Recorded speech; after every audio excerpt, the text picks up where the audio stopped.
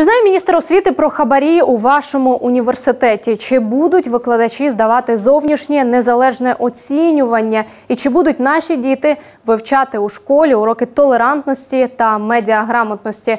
Вас вітає вечір на сьомому. Мене звати Анна Гринів. І сьогодні на всі ці запитання нам відповість міністр освіти і науки України Лілія Гриневич.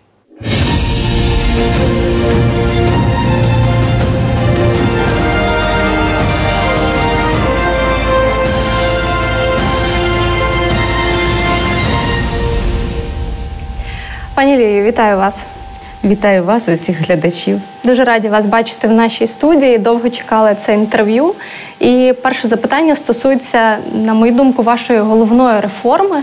Це нова українська школа. Це такий великий документ, де є багато пунктів. І за вашим планом, цей, ці пункти мають стартувати у 2018 році.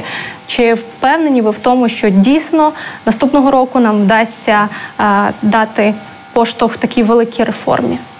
Ми зобов'язані це зробити, тому що діти не можуть чекати. Ми е, далі намагаємося навчати в наших школах дітей так, як навчали 20 чи 30 років тому. А це інформаційна ера. Це діти, які е, мають справу з комп'ютерами, з планшетами. Це діти, які дуже швидко орієнтуються, мислять, і це діти, які в зв'язку з технологіями дуже швидко втрачають інтерес до навчання, якщо воно нудне. І це діти, які хочуть знати, чому вони мають те і те вивчати. Тобто, що ці знання дають для е, майбутнього успіху в житті дитини. Ми хочемо перейти від школи, де дітей напихають лише знаннями, здебільшого теоретичними, до школи компетентностей 21 століття. А це не тільки знання, це ще вміння їх застосовувати для своїх практичних задач, а ще так само цінності і ставлення. Тому що дітям зараз потрібно переосмислювати величезний вал інформації.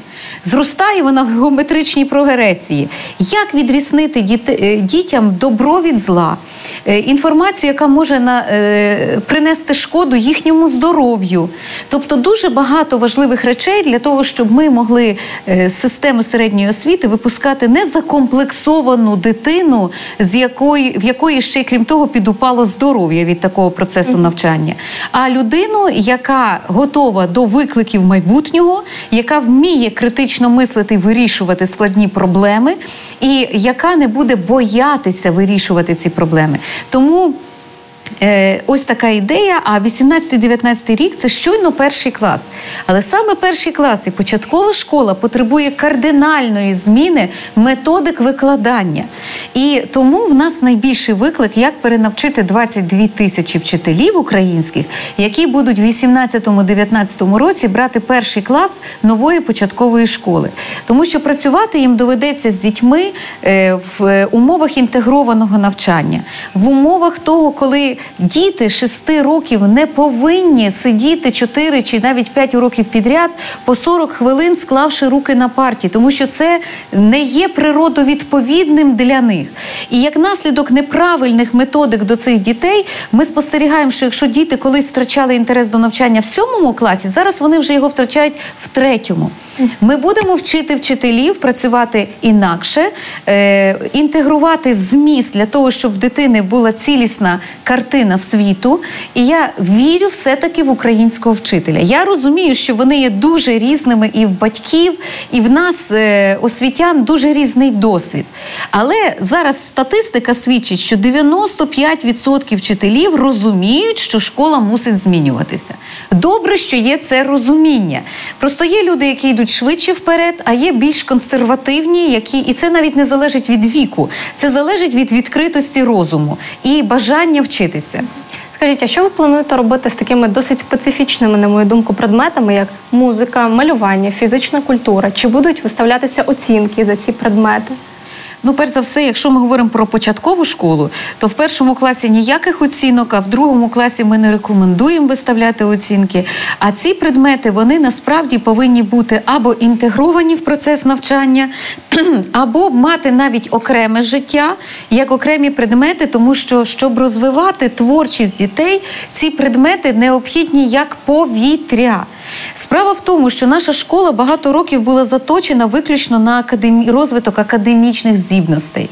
Але академічні здібності є в частини е, дітей, але в частини іншої є інші здібності, і це не означає, що ці діти будуть менше корисними для суспільства, тому що вони можуть створювати інші продукти. Важливо цей талант не не як це не загубити, не пригнобити е, у школі, яка до всіх при. Однаково ставиться в е, і міряє всіх однаковою лінійкою, і хоче сформувати однакового випускника з академічними здібностями.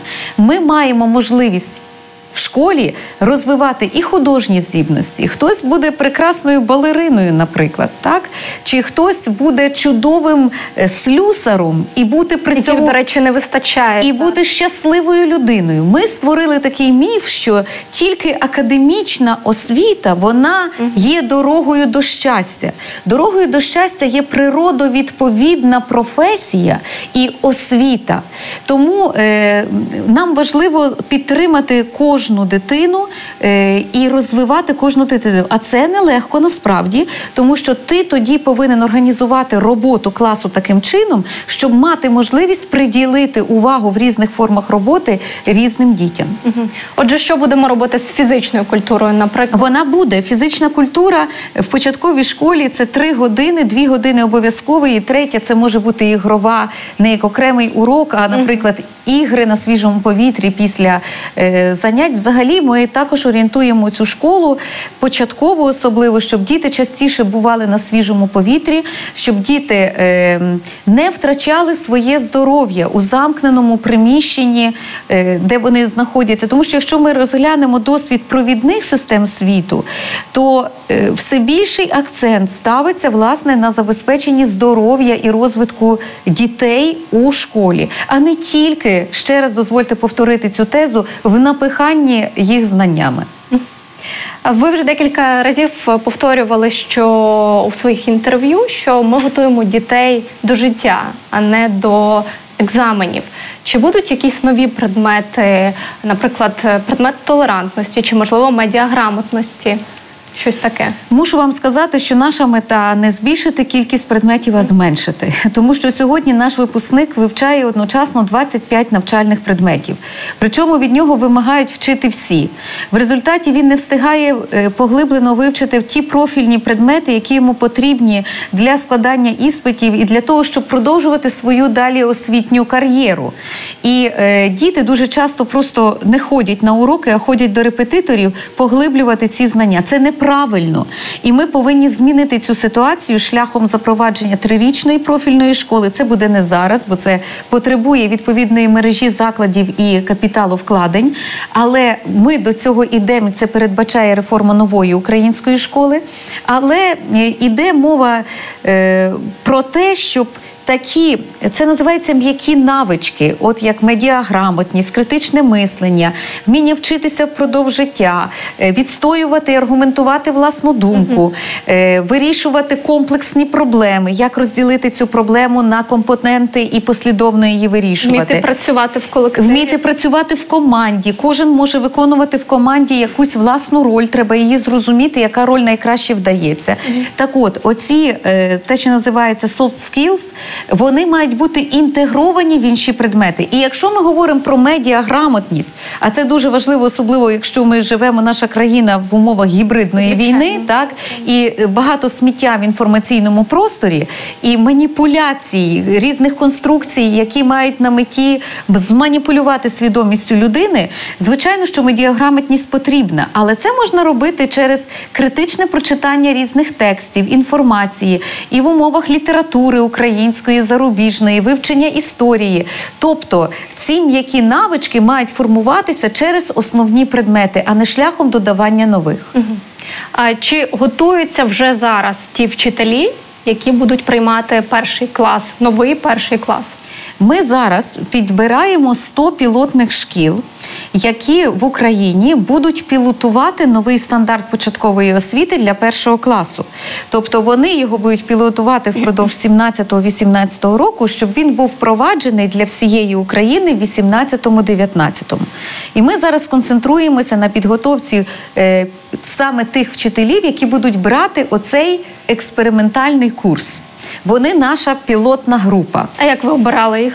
Е, за готовністю школи, тому що школа повинна переконати батьків, тому що батьки мають погодитися, адже це новий спосіб навчання, так і за готовністю вчителів, їх відкритістю до змін. І багато вчителів вже використовують в навчальному процесі деякі компетентнісні методики навчання. Тому ми е, будемо працювати з ними, відпрацьовувати модельний курс, який буде запущений у форматі е, змішаного навчання, так званого blended learning, коли буде дистанційний курс і будуть очні сесії для тих 22 Тисяч учителів е, всієї України, е, і це розпочнеться з 2018 е, року, з січня місяця. Який має бути ідеальний український вчитель для нової української школи? Е, вчитель це той вчитель, який, по-перше, має належний соціальний статус, якого поважає суспільство, і який має належний рівень кваліфікації для того, щоб володіти педагогікою партнерства. Тому що значно легше працювати в умовах авторитарної педагогіки, коли ти кажеш учневі, що ти маєш зробити, а він слухняно слухає і менше говорить, більше слухає. Звичайно. І все це економить тоді час і значно простіше. Але це не дає навчальних результатів, які потрібні дітям сучасним дітям. І тому нам треба вчитель, який володіє методиками компетентнісного навчання, який вміє дитину бути фасилітатором процесу її навчання який вміє застосовувати нові засоби навчання, який подолав цифровий розрив поколінь і який володіє комп'ютером і може ці нові технології, наприклад, ми плануємо до оновлених програм 5-9 класів, які ми оновили, оновили цього року, і вони почнуть з 1 вересня вже бути в школах, імплементуватися. Ми видамо на платформу EdEra додаткові матеріали для вчителів. То вчителі повинні вміти користуватись цими матеріалами матеріалами, використовувати їх в процесі навчання, значить володіти комп'ютером. Тому нам потрібен вчитель, який готовий постійно вчитися. І я запевняю вас, що е, немає іншого способу. Бути хорошим вчителем, якщо ви не налаштовані вчитися постійно. Кожного року наші абітурієнти здають ЗНО. Чи розглядаєте ви варіант такий, що і вчителі також будуть здавати зовнішні незалежні оцінювання? Е, у законі про освіту, який е, вже в парламенті проголосований в першому читанні, ми чекаємо другого читання е, цього закону. Є запропоновано таке явище, як добровільна сертифікація вчителів. По-перше, вона добровільна поки що. Якщо буде успішна, тоді ми її запровадимо як обов'язкову, поки що добровільна, але вона полягає в тому, що в неї є елемент ЗНО. Ви не можете оцінити вчителя тільки по знанню його предмету через ЗНО. Можна взагалі знати предмет, а не вміти навчити інших. Е, натомість, бути для того, щоб навчити інших, ти мусиш знати предмет, але ти мусиш також володіти сучасними методиками навчання. І крім того, ти повинен показати, як ти це реально реалізуєш на практиці своїми дітьми. Е, тому е, я сподіваюся, що ця сертифікація нам допоможе знайти агентів змін, тому що завжди мусить бути критична.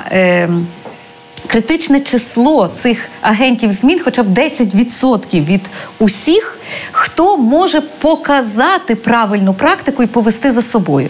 Таким чином, ми через цю добровільну сертифікацію будемо е, заохочувати вчителів, які вже володіють цими методиками. Вони будуть отримувати 20% надбавку до заробітної плати, і їхньою е, обов'язком також буде ділитись цими методиками з іншими вчителями, е, тому що вчителі не люблять, коли їм щось диктує Міністерство освіти згори.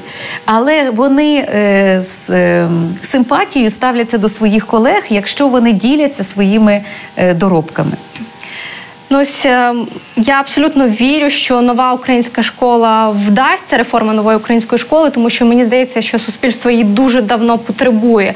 Чого не скажеш про наші вищі? Тому що, от ви сказали тільки що, що вчителі не дуже люблять, коли міністерство щось диктує. І мені здається, що в принципі міністра і міністерство сприймають як щось таке далеке, і яке що не розуміє, що відбувається у вищих навчальних закладах. Мені цікаво, чи знаєте ви скільки коштує, наприклад, український екзамен, екзамен в українському університеті?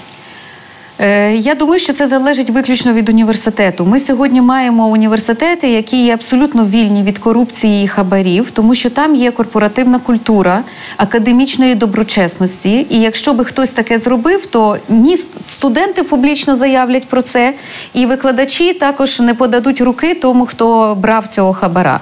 Такі університети є. І поряд з ними в українській системі освіти є інші університети, де беруть хабарі. І якщо нам вдалося зараз зараз при вступі до вищих навчальних закладів за рахунок ЗНО забрати хабарництво, угу. воно перемістилося в таких університетах на рівень сесій поточних і на рівень вступу в магістратуру. Особливо корумпованим була магістратура справа. У нас ще не кожен університет має бакалаврат справа, і так само дуже багато мають магістратуру справа. Ми цього року запроваджуємо обов'язкове ЗНО на магістратуру справа для всіх університетів. І таким чином ми врегулюємо цю сферу, теж де де теж панувало багато хабарництва. І е, ще нам це ЗНО покаже результати в розрізі країни, яких бакалаврів права, з якою якістю правничої освіти готують наші університети. А що ж робити все таки з сесіями, з внутрішніми екзаменами в університетах? Як звідти видалити цю корупцію? Це може бути зроблено тільки за рахунок е, саме зусиль студентів і викладачів, які хочуть чесності. Яка в нас є проблема? От було проведено соціальне е, дослідження е, серед студентів, і є все ж таки частина студентів, які кажуть, що їм легше заплатити ніж вчитися. Ця частина дуже велика. На жаль. І це потім е, приводить до неякісної освіти, зрозуміло, тому що вони. Не мають відповідної підготовки, мають тільки диплом. І це як ракова пухлина взагалі поширюється на якість процесу навчання в університеті. Я думаю, що це знаєте, е, як це особистий майдан кожного університету, кожного викладача і кожного студента. Тільки об'єднавшись разом проти цього е, ганебного явища, е, ви можете його подолати. Тому що, наприклад, розмови про те, що хтось бере хабарі, ні до чого не призведуть, поки не буде цю людину впіймано на цьому хабарю. А, а це для цього складно зробити. А це складно робити, звичайно, але можливо це mm. зробити, якщо залучити правоохоронні органи. І, е, звичайно, якщо побачать, що таке явище насправді карається, тоді інші не будуть цього робити.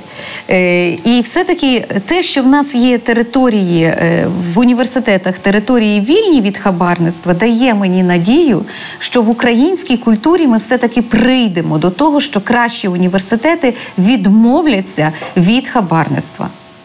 Ви бачите якийсь термін е, цього цієї відмови? вони рухатимуться в різному е, з різною швидкістю. Чим більше університет буде залучений до міжнародних програм, чим більше там буде приїжджати студентів і іноземних викладачів.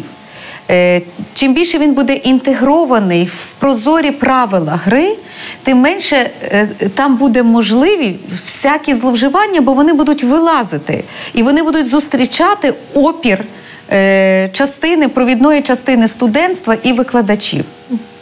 На мою думку, що це ваша найважча робота, тому що якщо школи піддаються таким реформам позитивним, то наші вищі я вам просто побажаю успіху, тому що мені здається, що це нам дуже потрібно. Вищі навчальні заклади мають досить великий ступінь автономії. і Ми це угу. зробили абсолютно свідомо, тому що так і це є академічна свобода, це базова цінність.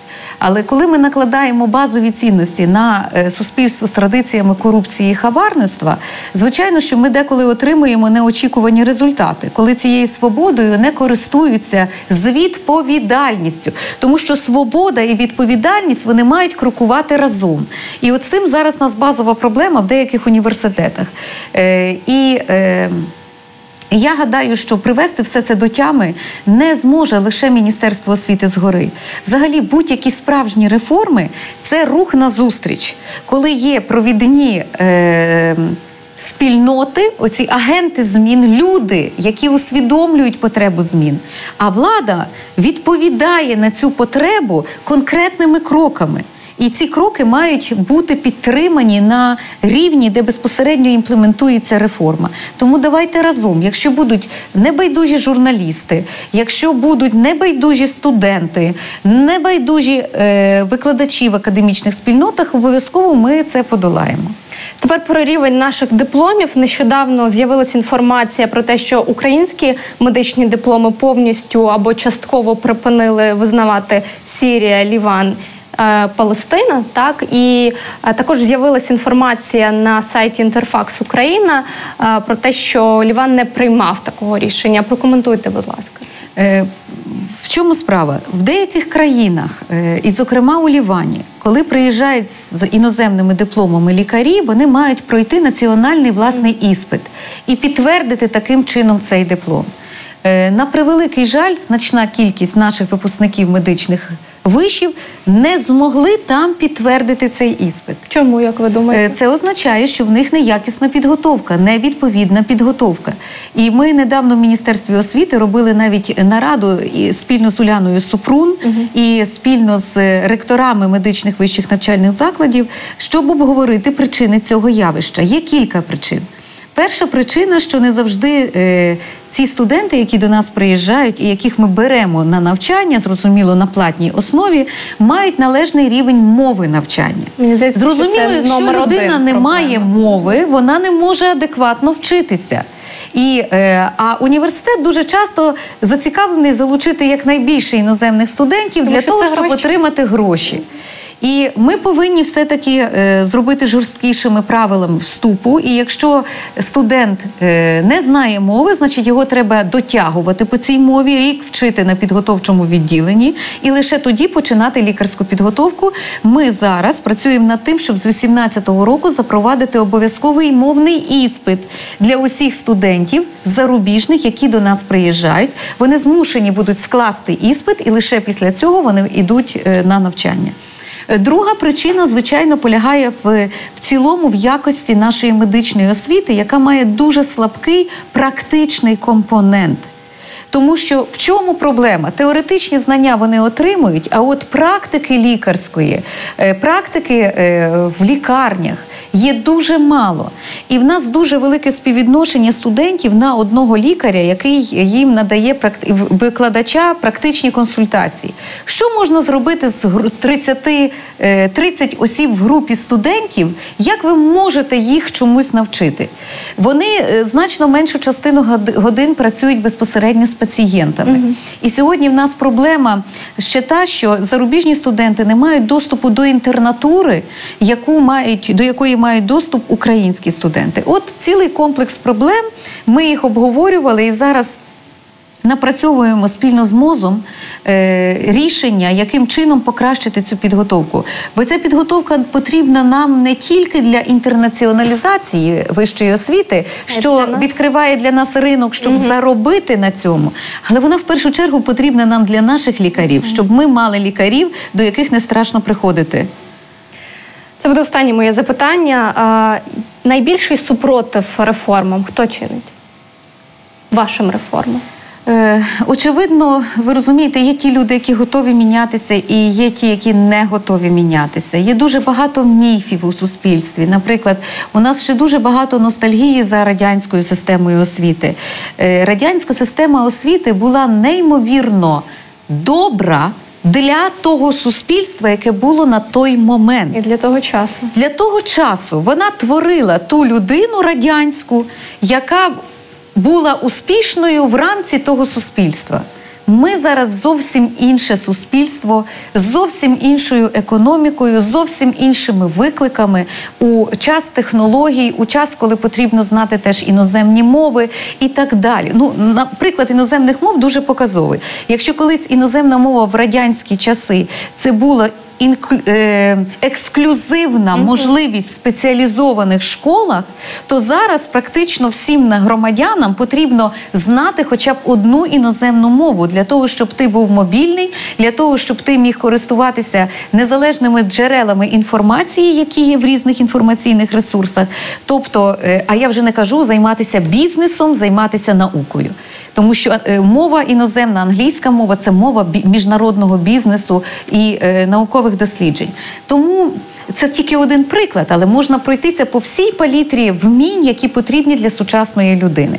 Е, Тому нам треба творити власну систему освіти, прогресивну систему освіти, яка зробить українських е, дітей, нашу молодь цілком конкурентно здатною і успішною, щоб вони могли незалежно від того, які в них є таланти, а в кожній людині є талант. Якийсь талант. Е, е, Система освіти має допомогти його відкрити, знайти, підготувати цю людину, щоб вона могла самореалізуватись і бути щасливою.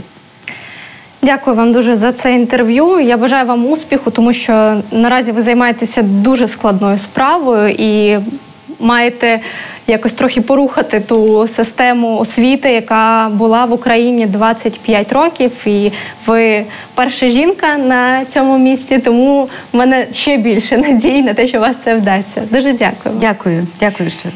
Я нагадаю, у нас в гостях була Лілія Гриневич, міністр освіти і науки України. Це була програма Вечір на сьомому. До побачення.